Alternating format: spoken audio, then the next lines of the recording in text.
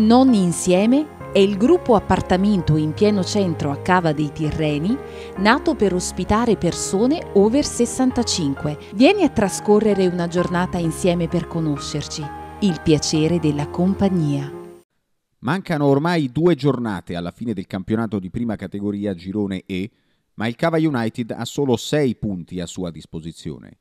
Nel turno di campionato disputato una decina di giorni fa, che è il terzultimo, la squadra del presidente Maurizio Alfieri e dell'allenatore Enrico Maria Amore ha dovuto osservare il turno di riposo, rimanendo quindi ferma a 24 punti, a tre lunghezze di vantaggio sull'ultima classificata che è la F3 Nocera, e le altre formazioni che lottano per la salvezza, quasi tutte, hanno fatto punti.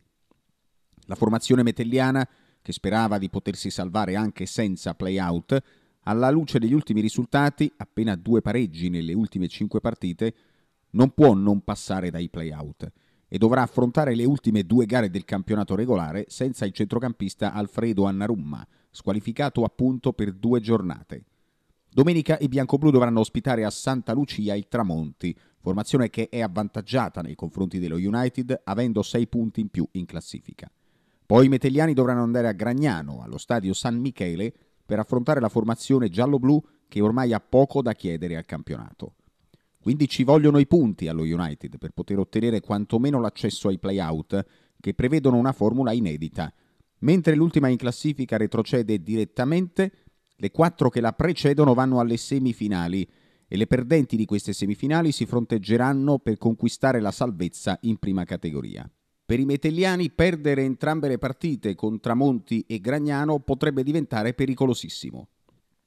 Ad ogni buon conto, una consolazione per lo United è arrivata dalle giovanili.